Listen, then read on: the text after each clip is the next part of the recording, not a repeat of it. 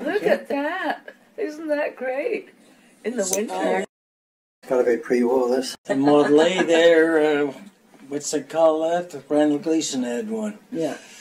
It's Ford. Into the 30s, maybe. 36 or 38. Okay, I love this. Percy McFarland plowed with a horse and buggy, eh? Yeah. That's and in my old Mr. And time. old Mr. Nickel, remember he was the uh, town clerk? Come, And- old, yeah. And he had to do some too. Howard? Howard McNichol, yeah. Where was he? What? He was do- he was doing the plow, the, the horses with the plow. Oh, yeah? Yeah. Because in the summer, in the wintertime, you couldn't down the front street. They had plowed, and you couldn't see that side of the street. Mm-hmm. There was so much snow.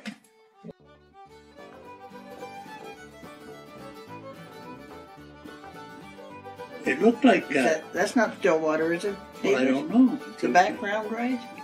That looks different from that angle. Yeah, very, yeah.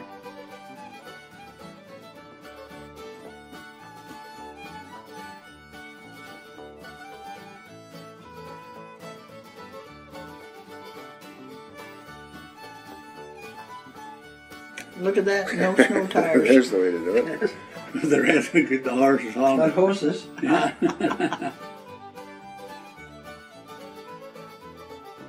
No, there's no shirt and tie and hat. See, everybody did the front street, see? Yeah, Yeah. and that's a restaurant there, the sign was showing. Yeah. That's Re- Rexall. Rexall's That was, uh, yeah, that's where the place closed, the restaurant closed. Yeah. Uh, Bill Rollins. Yeah. Rand's drugstore. Well, if you, Ah, I talked to this Randy. Metcalf.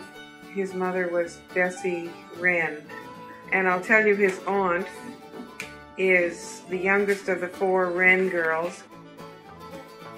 They didn't carry the snow away then. It just stayed there. That's Water Street, the, the sign over the street. We're, You uh, see the sign. I know we're uh, Charlie Taylor's garage, whatever it was then. No, I don't no, know. no, no. Look at the snow, look. Yeah, Yeah. I'm telling you. Wonder what And year it this would would come. It would come in November, and it would stay.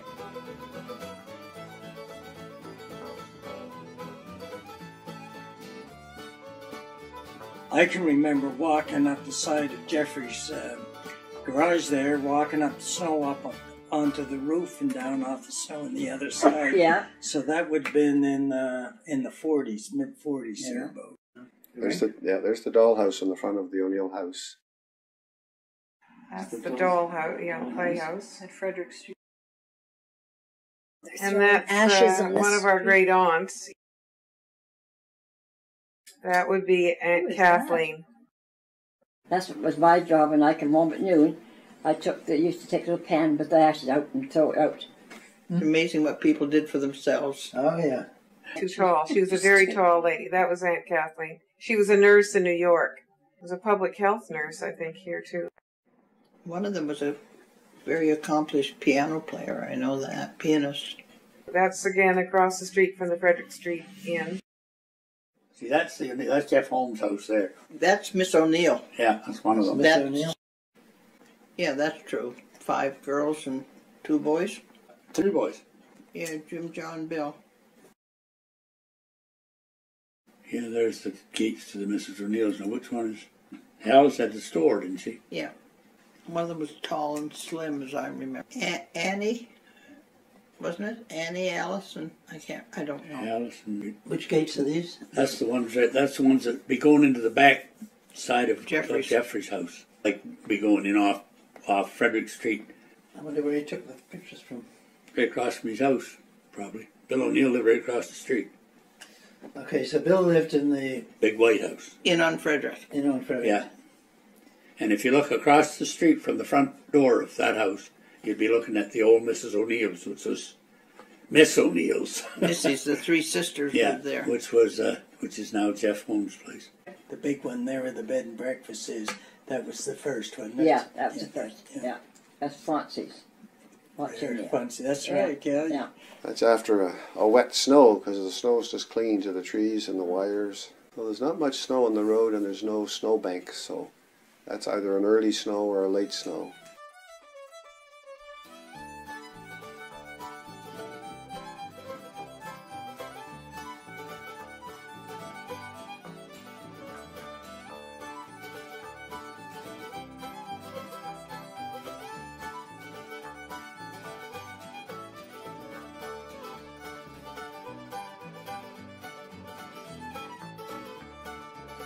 Looks like our father's walk, no? That's uh, across the, from Frederick Street House. Pre-war.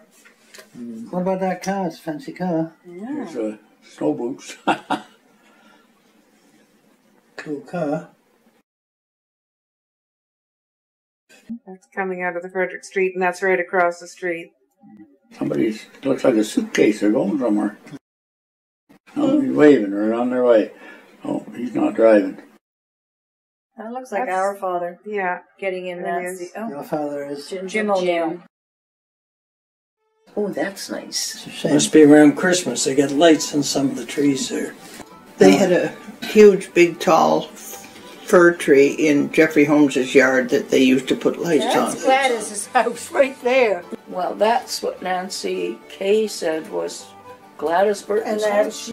this is Gladys's house, and there's another one there, and then the one on the corner is now the new Conley. So this is Queen Street, Looking, looking west towards yeah. looking west.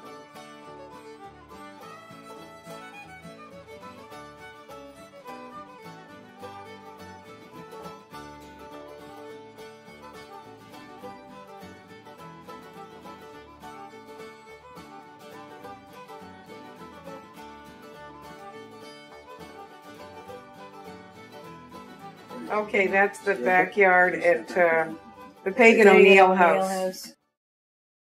It's the first illuminated Christmas tree. in I was Yes, they did. They had have that.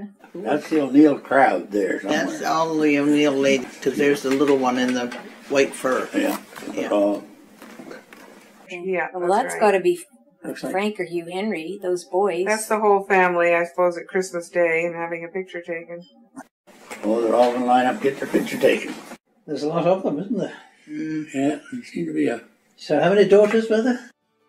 The three O'Neill ladies that didn't marry were They- aunts. Their fathers. They were their fathers. Yeah. Yeah. And Mary, wouldn't they? Mary and Carm and John and Jim and Bill. Carmelita would be their niece. that would have been before 40. That mom and dad were married in, in 42. September of 42. So unless mom's in that, which she isn't. I'm saying it's 40 or 41. Well, no, but dad was married in September of 42. So he wouldn't be winter. He wouldn't be there at Christmas time unless lady on the right? there. Okay, like just a minute. That also on the could be. Helen O'Neill right there. the little girl. Yeah, I maybe that's There's it. 10 years difference. He's like our oh, my dad, that ran in running. front of the camera. That was Jim O'Neill So that was Jim. running mm-hmm. towards the camera. That's That's probably in the Willie, 30s, and that's a generation earlier. That'd be two boys and then Helen, and there's my mother there. Yeah, that so that would have been in the 30s. Well, that would look like Bill taking his hat off on the left. So maybe John's at the camera now. In the middle, that looks like Bill on the left. Yeah. You can see the camera's a little less steady. John's not as steady as Bill was.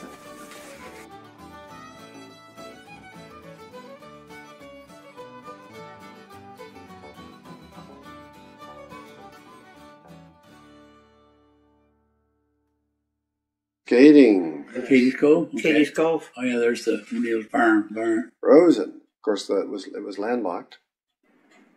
That didn't happen very often. Yeah, I was wondering when the last time was. Yeah, that's that's cold. Yeah, and no snow, no, smooth ice. no snow in the background either. One of those houses is still there. That uh, farmhouse on the right. But you know, it wasn't uncommon for the cold to come before the snow. Like this could be like December. When we were young, you couldn't sw- swim out at the Katy's Cove on the on this side. That was the hotel beach, hmm.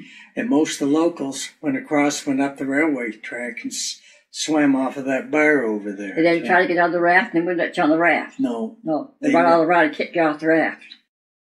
Oh yeah, there's the that's the bathing beach side. Yeah. Yeah, that's right. We weren't allowed on that side. Chamcook Lake certainly froze. They used to do ice. They used to take ice boats out there and sail all, all through one end to the other of uh, Chamcook Lake. They say this this is moving water here, and salt water. Yes, that's the bathhouses at Katy's Cove, the original bathhouses. There were change places for people to change in and shower in, and The harbour bay froze over in 1938. Because my dad skated to Deer Island and played hockey. Your Our group of the on- boy I- skated from here I to Deer have- Island, played hockey for the day, and when my dad got home, he got his ass blistered because Graham didn't know where he was. I have a clipping from the newspaper of old John Garnett, the story that he walked from Deer Island to St. Andrews on the ice. they pushed a boat in front of them just in case. Yeah. When was that? Any idea? That was in the 30s, I It was believe. thir- I think so, 29 or 30. My dad talked about it. yeah. Either 29 or 30. Dad never said anything about any dinghy. Oh, they've got hockey sticks there. They're having a having a good go around there.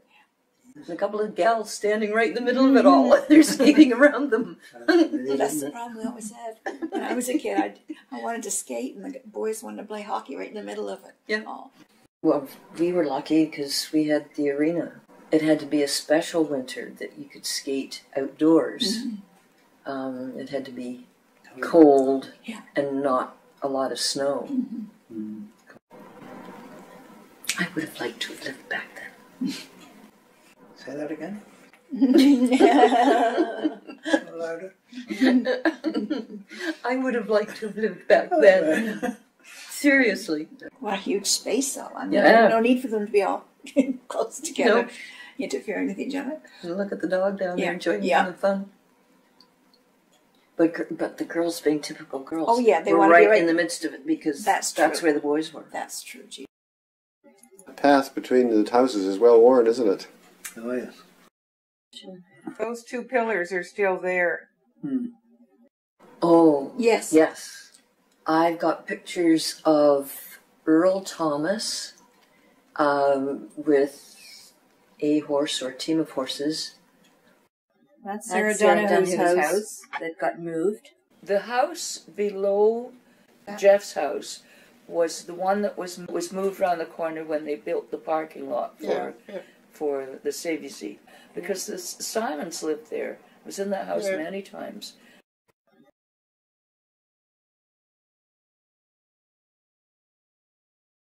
David, do you remember when it was a Chinese laundry? Ed Finnegan? That house was a Chinese laundry when I was real little. I remember it vaguely. Is it? Is that right? Yeah. Not a nice house for laundry, wasn't it? That again is Lawson Spire's father and mother's home. And this is Ed Finnegan's house. And that used to be Lawson Spires is a the dark one. Yeah. this used this place of Ed Finnegan's, uh, that location used to be the Chinese laundry. Oh yes. And once every winter they would have our grandfather over for dinner. And uh, so they would have they would smoke these pipes apparently, these long Oh. and they'd have Chinese food.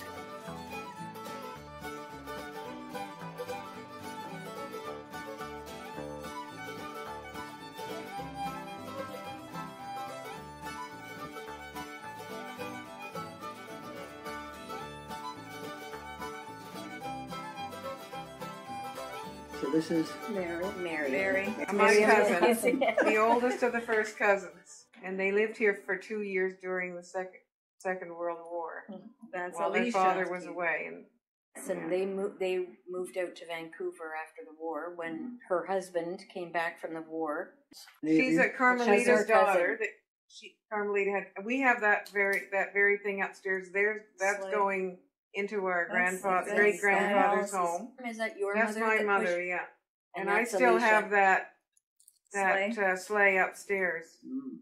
So West those two girls are sisters, and they're our oldest cousins. So the one in the pram or whatever is She's Alicia. Alicia. Alicia O'Hagan. the other one. I- Mary Elizabeth. Elizabeth. Mary Elizabeth Shields O'Hagan. That's that's our auntie Carm. That's Yeah. their mother. The thing with our family that's very difficult is that there are many Carms or Carmelitas, Three. and there are many jo- many Johns And and, Marys. many Marys and many. No, my mother's Mary. Taffy.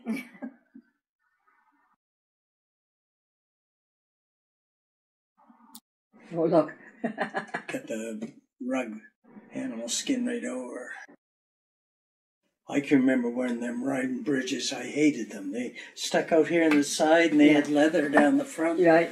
See, that's out on the lake. And you had to wear long johns and had to fold them all in, and mm-hmm. oh dear. And when you put them on there, it snug your body. I hated it.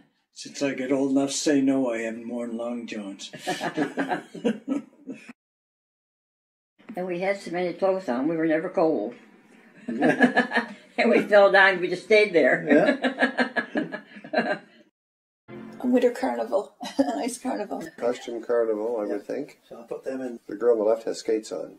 Kiwanis Carnival. Maybe. yeah. That was always a big thing. Yes. Oh, yes. The kids loved it. Still doing it.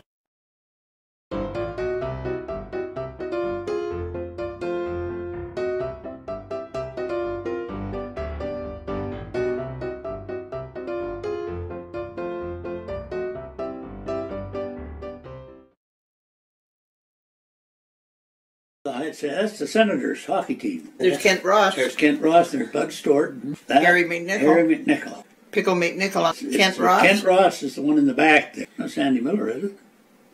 Could be. Could be Sandy Miller, but I don't know. That, Kent- that, that's Kent Kent, Ross. Kent Ross. He was one of the later owners of the cottage craft. I think that's Doug Henderson. Pick, uh, Allison McNichol. Well, let's pick 'em. Allison Pickle. Yeah. Let's pick Always 'em. known as Pickle. Pickle and Bud Stewart right beside Pickle. Bud Stewart, that the fingers being pointed. And that's Bill O'Neill standing up there with the hat on. I'm pretty sure. Oh, Bill O'Neill. It's his smile. Yes. And that's the way he wore a hat.